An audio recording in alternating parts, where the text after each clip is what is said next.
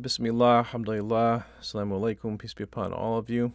So I'm going to do a little breakdown here of a audio clip of me teaching some teachers in uh, when I in one of the times I did my training engaging Muslim students in public schools live. This one specifically was done in Columbus, Ohio, in Ohio State in July 2019.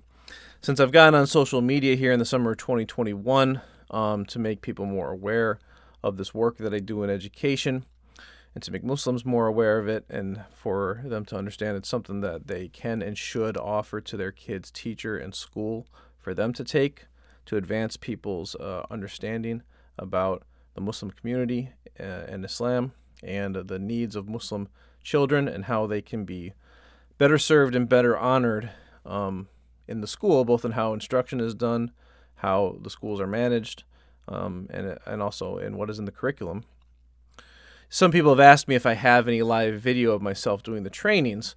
And and I don't have that because when I would do the trainings, I was actually really focused on protecting people's privacy.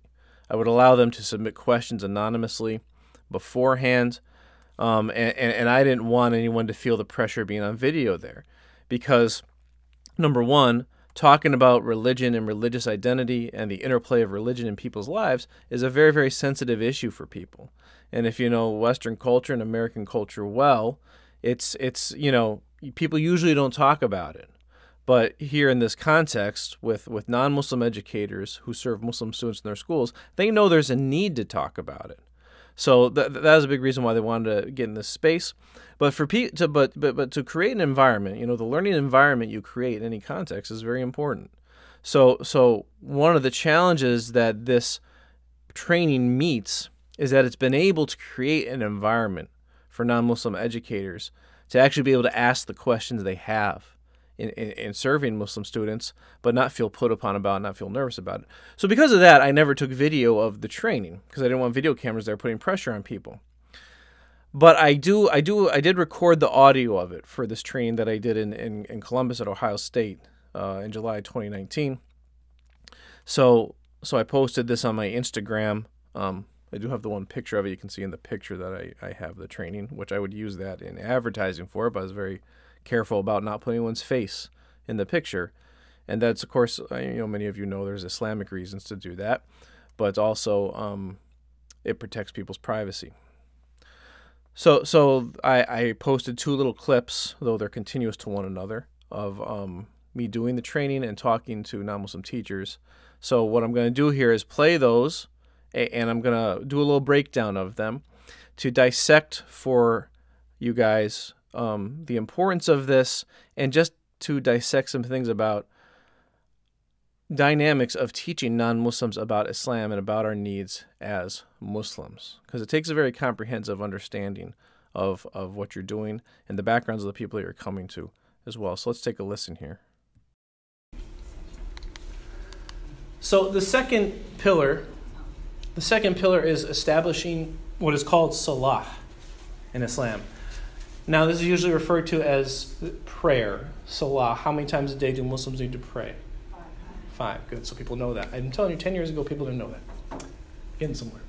Now, I call it salah here because the, the five obligatory prayers is called salah praying where you like put your hands in the air or you just call out to God and you ask God to bring you good fortune or to bless people you love or this type of thing.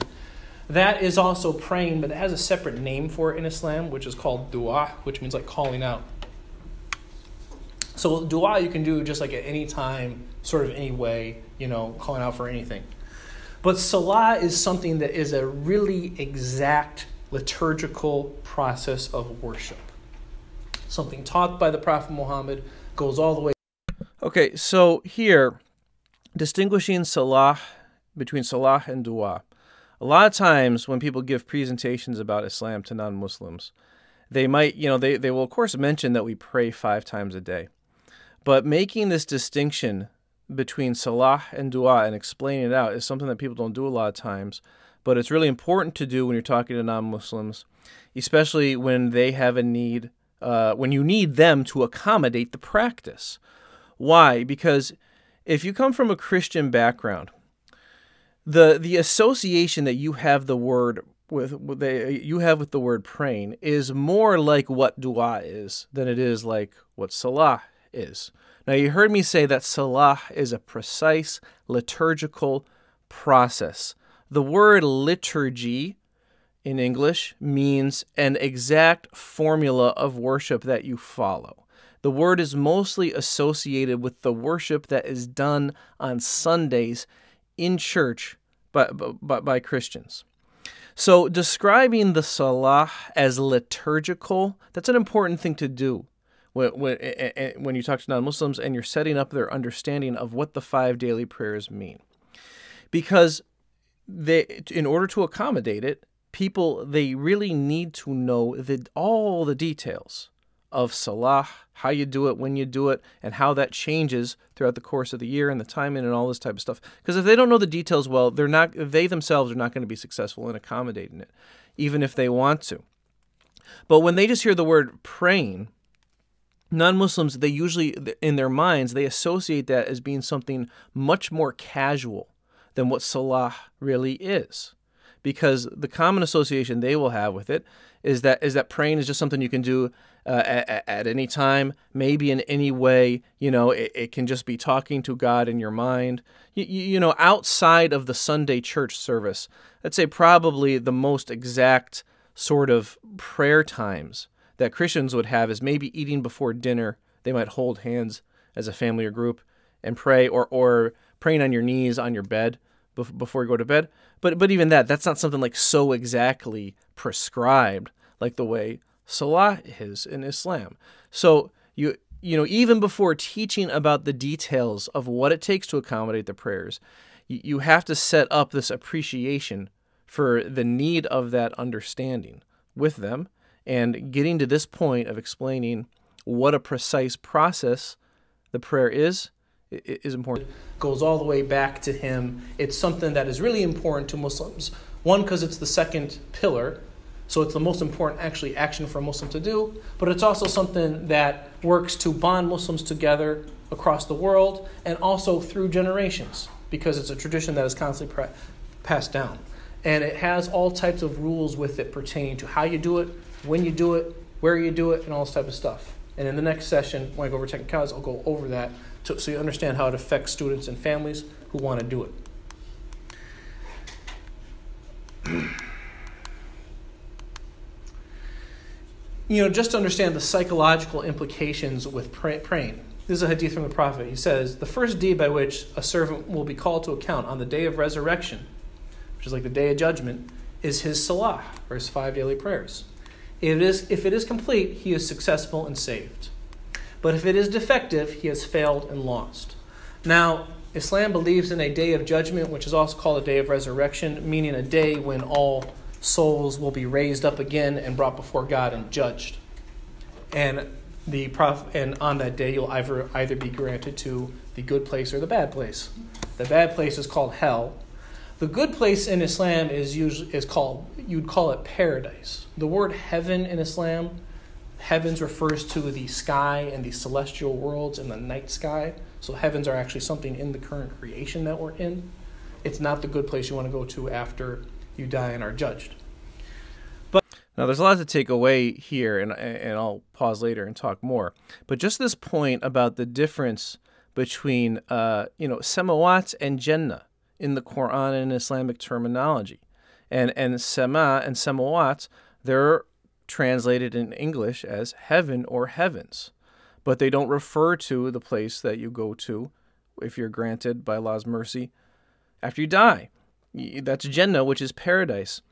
Because in again, in a Christian background, heaven is the place you go to after you die. That's what they more commonly call call it. Now, this is actually something important to teach to public school teachers because with all the stuff that kids read in public education that comes from Western culture, the word heaven comes up a lot in, in, in a lot of different places. And you will see Muslim kids, they adopt the, the use of the word heaven to, to mean the same thing as Jannah, when it actually doesn't. It doesn't actually mean that, but they get conditioned into doing that in the public school. And again, it's something unwitting by the teachers because because they don't know this difference in the Islamic terminology. But once they know this difference, now if they, when they're teaching, you know, they're reading a book by by by Mark Twain, they're they're, they're reading a book by Shakespeare, they're they're they're reading a book by uh, whoever from from from Western literature, and the use of the word heaven comes up in some way. Now this is this becomes a culturally relevant thing that the teacher can bring up. The fact that different cultures have different terms for what for the for the afterlife, for the afterlife in, in, in their religious in their religious schema and understanding. And they know specifically the terminology to talk about with, with, with Muslim students. So it's a little deeper level for a teacher to, to take it that way. But, but, but you have to start building the, this, this background knowledge. And again, you know, my training is a, a good part of it, the part on Islamic beliefs. It's an extended walk through the Hadith of Jibril. So it teaches the basis of Islam. But within that, there's all there's all these different points to, to bring up to make sure that a clash is not being conditioned within our kids. And this, this is just one small thing. Are judged. But you see how this hadith it makes the prayer the most important thing for that day. Now, Islam is like other other monotheistic religions, where it's you know it believes that you have to have its belief in order to be granted into paradise. But it is also part of Islamic belief that a Muslim can go to hell for a time period and be punished there to the extent to which their sins are expiated, the sins they committed and were not forgiven for, and then be sent into paradise. So, you know, a Muslim is taught to, the Quran teaches to always have hope in Allah's promise of salvation, but also to have fear of his punishment of hellfire. And the prayer is really the most important thing, the most important action that a Muslim actually does pertaining to that. And it has all kinds of rules along with it. And what ends up happening with Muslims in the West is there ends up being a sort of direct relationship between the extent to which a prayer is accommodated, the prayer is accommodated in a certain setting, and the likelihood that you will do it because if it's not well accommodated, then you have to bother a whole bunch of people and sort of make the arrangements yourselves. It becomes a stressful thing, and you don't want to bother people and this type of stuff. So, you know, making the five prayers, in all honesty, it is hard. It's hard for Muslims in the West to do regularly, very hard. And there is a psychological stress that goes along with that. And this affects you know, the, the age at which you have to start praying, the age at which all obligations become obligatory in Islam is puberty, when you reach physical puberty. So that can so the actual age can be different, but when we go over the technicalities, you'll see how it affects um, scheduling and all this type of stuff. And those of you who deal with middle and high school who might need to accommodate it in some situations, we'll go over how to do that. Yes, ma'am. So are you saying that if the child prays four times, that he feels like he's condemned? No, it's not forever. It's if you miss a prayer though, that is a sin. For missing the prayer, the way that you expiate for it is by asking God for forgiveness and making it up later. But until you do that, it is a sin. It's a sin. So it doesn't mean condemnation forever. You know, Islam teaches that um, that that every person. Okay, so stop it here. Lot to break down in this. Now you heard that teacher asking. So if a child does only four prayers in a day instead of five, like he misses one, does that mean that he or she feels like they're going to be condemned to hell forever?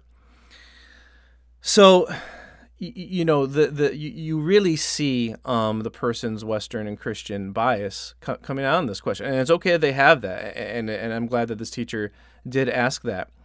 So you know what what people in the West uh, tend to do with, with, with religious understanding, and and when they're forming their understanding about Islam and about Muslims, you know they, they and everyone does this with learning but they, they project their own background uh, understanding from their own culture onto us, onto Muslims and on Islam.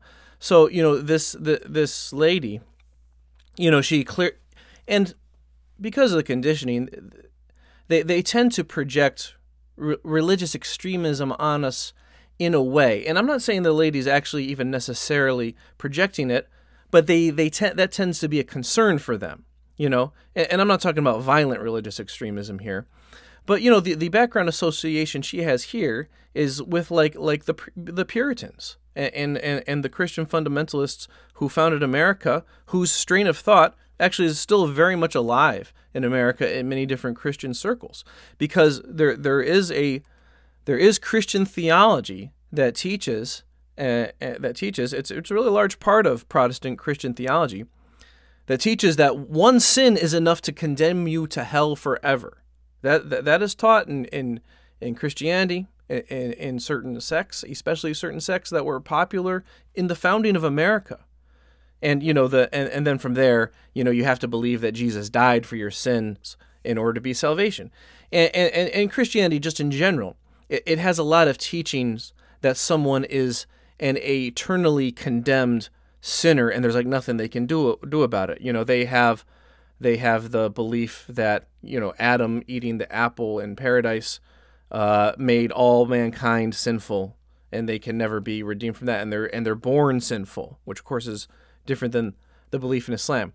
You know, you know, because of this too, uh, Christians and people in the West, they tend to be really sensitive and worried about the idea of religious guilt because they have a whole lot of uh, psychological trauma, if you will, in their own background associ- associated with that because because of these because of this kind of extreme teaching about sin and and and guilt was a very heavy tool used traditionally in Western society by both Catholics and Protestants. Heavy guilt. So you know what what what the Western world's living through now is is is a is a backlash reaction to that, where you have this ultra individualism where where people you, people you know they they the the the, the society decided that all of that religious guilt had some negative impacts, but you know, so where do you go from there? The way that they've kind of answered it is well, the opposite. You know, in some in, to, to some people's thinkings is that the opposite might be. You know, then the opposite is the solution. So you know, we should just get rid of guilt, and everyone should just be able to do what you want.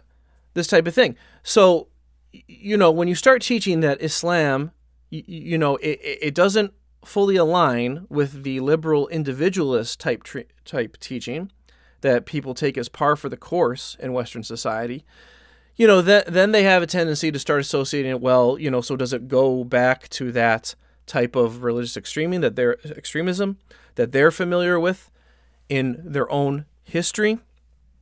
And you see that here with this teaching, with with this lady's concern about kids feeling over guilty. Now, of course, Islam has a more moderate approach to that, and it has a more precise and guided approach to it. But just a matter of teaching out the details. And that's why I'm going to go into talking about here about the about the the records on the day of the judgment and the accumulation of good and bad deeds. So this lady she's asking that out of out of concern, but you see where the association went with that. Now if she hadn't had this training, that association is just going to stay there, you know?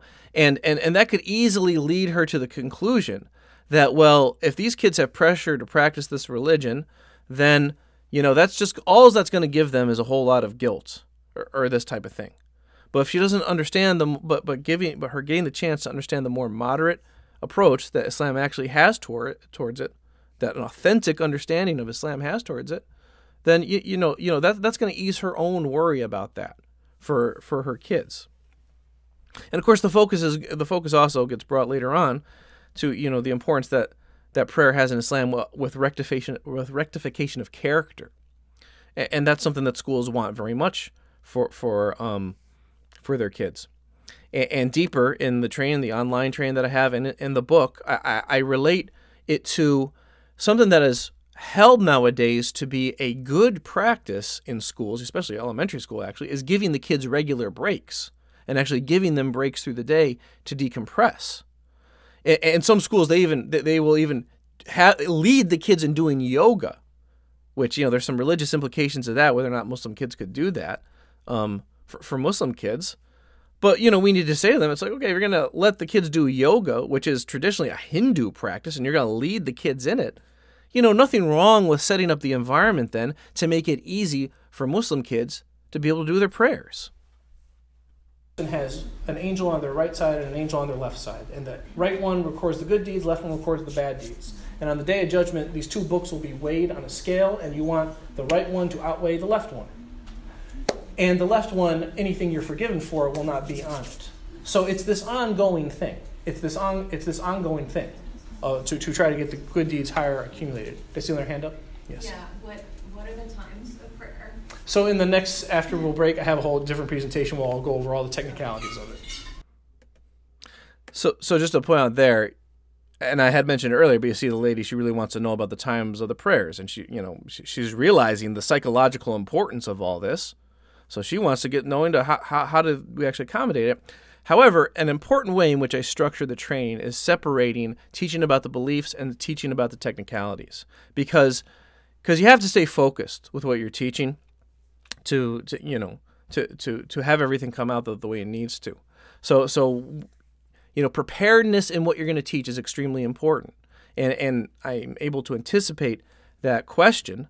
So so it's important to have reference points to well if you have that question we're going to go here and that's why it's important to have different materials such as the course and the book and, and to have a precise learning continuum set up for everybody and again actually when i get into the tenets of belief i talk a little bit more about the day of judgment and i re-emphasize and, and i talk to teachers about the importance of talking to kids like life is a test not in a religious way but in a general way and people can understand that. And this teaching about um, you know the angels and the books and the recording of deeds that starts to set that up. Another thing muslims need to understand just a few other things to take out of this clip. Number one starting to talk about angels and, and hellfire and the afterlife and stuff you know, Western people don't take this as anything crazy or anything like that. Sometimes Muslims are a little nervous about that. They sometimes they think of the West as being like overly scientific or overly material, and especially in in America. They, they, they have enough background, they have enough of their own family and cultural and religious background to not think that any of that stuff is crazy. And they no doubt have some family members who, who if not themselves, actually many of them I know themselves, they, they, they believe in an unseen world and this type of thing. No, no one takes that as to, to be anything crazy. And also, too, actually, um, I should do a video on the surveying that shows that on average, public school teachers in um, in in America, they're actually more religious than the average American. And then and then America is generally still a religious society as far as what people as far as whether or not p- people believe in God especially compared to, to Western Europe. You know, and, just another small thing I, I, mentioned in there when I was talking about hellfire. Um, and, and, and, you know, you know the concept of um, Muslims being able to go to hell for a time and be expiated and then granted into paradise. That's something that distinguishes it from most Christian belief as well. You know, cr- Christian was usually a little more hard line, a little more black and white of just if you if you believe, especially Protestantism, if you believe that Jesus died for your sins, and that He was the Lord and Savior, astaghfirullah, you're going to uh, heaven. If if you don't believe that, you're going to hell, and it's just black and white. So, so that's an important thing to meet out. You know, I did mention in there how you know Islam is still a a, a salvation exclusivist religion. Okay, Islam doesn't teach that non-Muslims can go to paradise, and I teach that in every one of my trainings. You know, that's something too that a lot of times Muslims are very timid about teaching uh, uh, um, about teaching non-Muslims. But you know, again, it's something that they can take fine. They don't see it as anything strange or anything peculiar because they're plenty familiar with their own religious and cultural teachings that teach along lines of the same things. You know, and there's it's also of course better taken when it's set up where you're explaining things in a clinical fashion. So so so it's a depersonalized type of teaching where it's not about what I think about you or what you think about me. It's factual teaching of what Islam is and how that generally interacts in the lives of Muslims. Now, I have another part later on where I talk more explicitly about the relations between uh, Muslims and Ahlul Kitab, the people of the book, and you know Christians and Jews, and, and, and how you relate interpersonally to people of different religions. And, and I teach about how Islam has a separate separation between the doctrine beliefs, which are critical, and then how you how you treat your neighbor, which of course involves uh, you know giving them their rights and and and good manners and generosity and all this type of stuff. And I show the Islamic text for that. So so so that's a whole so so that's a whole other thing of how you need to set up a, a precise learning continuum that is going to te- teach one part and then balance it out with the other part that's taught.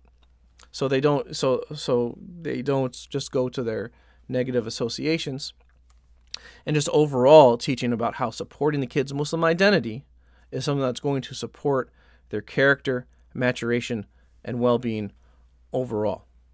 So we'll go to the next clip you know uh, soon maybe i'll do it right now but but forthcoming i'll inshallah i'll have a uh, breakdown of another clip that comes shortly after this because i'm starting to talk about the world of the unseen where a teacher asks about a, a incident that took place in school where her students, her Muslim students, thought they saw a jinn.